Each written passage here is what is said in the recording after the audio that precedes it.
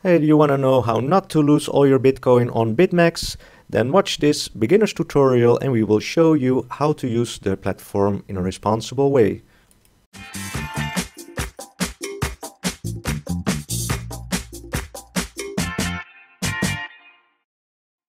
Hi, I am Adrian, I'm with Bitcoin for Beginners and in this tutorial, on the request of many of our community members, we will show you how to use BitMEX.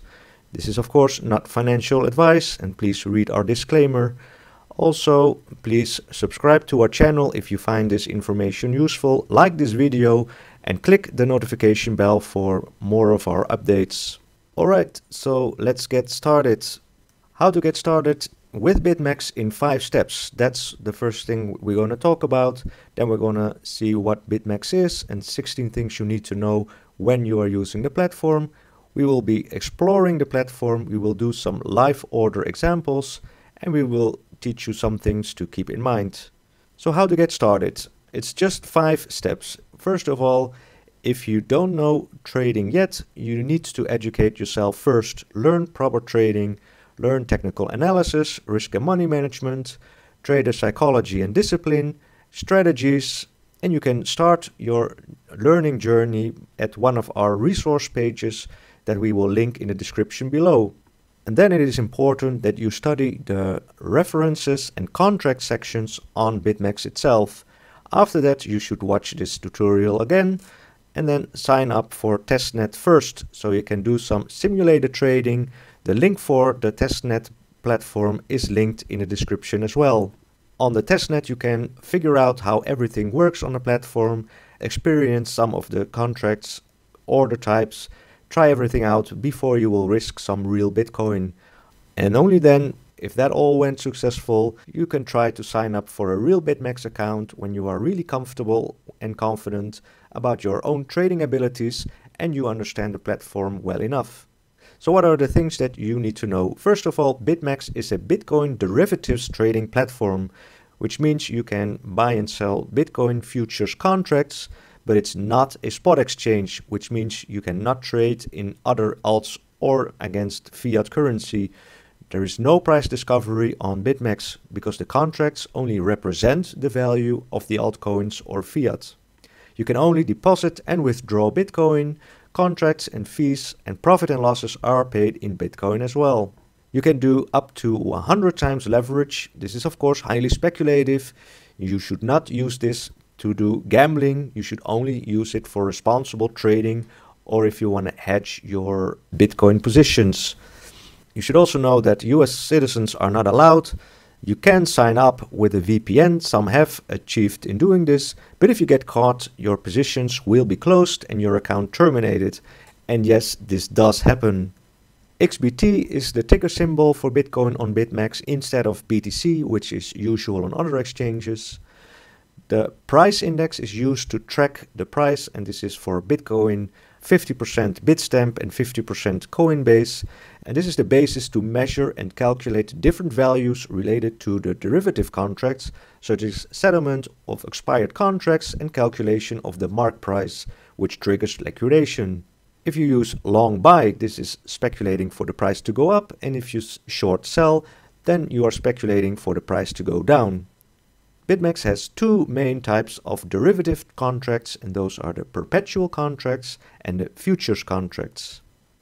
The perpetual contract does not expire and does not settle. It tracks the price of the Bitcoin price index very closely because of its funding mechanism.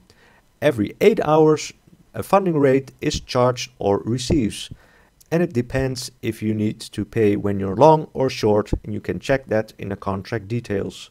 The maximum is 100x leverage for Bitcoin and 50x for Ethereum. And there is no perpetual contract for the other altcoins, at least not at time of recording. The futures contracts do have an expiry date and they do settle quarterly. There is no funding rate, but you may trade at a small premium or discount related to the price index. Also, there is a difference between the maker and taker fee. If you post a limit order, you will get a rebate, but if you post a market order, for example a market stop order, you will need to pay a fee. So if the situation for your trading allows it, preferably you should try to manually open and close positions with a post-only limit order because the less fees you pay, the easier it will be to become profitable. Also, there is a difference between cross margin and isolated margin. Default for orders is cross margin and this calculates the liquidation price over the entire available balance. The advantage is that you can take a larger position size the disadvantage is that when you are liquidated, the entire account balance is lost. Isolated margin is applicable if you adjust the leverage to a desired value. This makes the available margin smaller, also the distance between entry price and liquidation becomes smaller. When you are liquidated, you only lose the reserved isolated margin. Deposits are credited after one block confirmation already and BitMEX processes all withdrawals only once per day. This is good to know when you want to withdraw your Bitcoin. Okay, let's see how trading goes. First, we will check out the demo platform and after that we will go to see the real platform. Notice that accounts on both platforms are separated, so you will need to register an account on both the testnet and after that on the real account. But let's start with the real account first. Go to testnet.bitmex.com, click register and you can register your account. And you will get the same interface as the normal BitMEX platform. You can adjust however you want it. For example, I can click away the depth chart here and then extend the chart. Then in the top right corner, when I click on my account name, you will see a short uh, menu where you can select how you want to display your balance. It can be done in Bitcoin or even in Satoshi. I will click Satoshi because it looks as if I'm rich. And if you open an account on BitMEX, you will be credited some small amount of Bitcoin um, automatically to use to start trading. However, you should never send real Bitcoin to this account because it will be lost. Only fake Bitcoin on the BitMEX testnet. Okay, so here in the top you see the uh, most important sections. The trade section is what we are in now. And as I said before, the contract section and the references section are the ones that you should study very carefully before you really start trading so you understand everything perfectly. Alright, so as I said, you can make trades like you would do on a normal platform. For example, you can buy or sell uh, $1 worth of Bitcoin. I will do that. I will do a buy market. And as you can see, my order is already executed.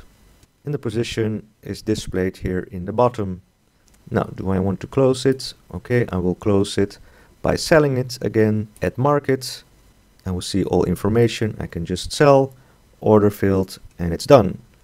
Just as easy as that. And you can try out all the different types of contracts and orders until you are comfortable enough in using the platform. Alright, so here under the different sections you can see the different coins that are available on the platform and under that you will see the types of contracts per coin. For example, in Bitcoin you have the perpetual which is shown here. The up and down contracts are low volume contracts and we will not discuss them in this video. December, March and June reflects the future contracts and if you want to know more details about each type of contract, you will find it in the left bottom corner. You see contract details. You will see the latest price here. You will also see the index price and the mark price. Other details like volume and especially expiry date for future in December is in 7 days. For March is in 3 months. You will also see the difference if I would take a perpetual contract because there is no expiry date, but they will use a funding rate. Already in 48 minutes there will be funding and in this case because it's a negative number that means shorts pay longs and if it's positive then longs pay shorts. Same thing for example Ethereum, here's the Ethereum perpetual, you can choose the December future contract as well. Okay, now let's take a look at the real platform.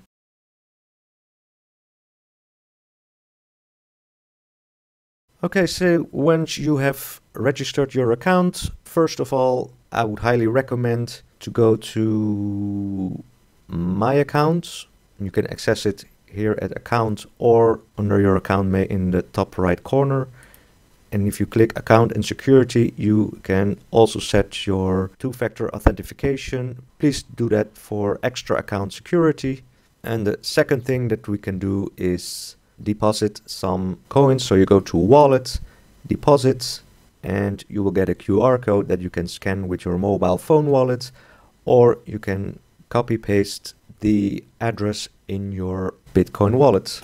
As I already said, when you send your Bitcoin, it will be credited to your account after already one block confirmation.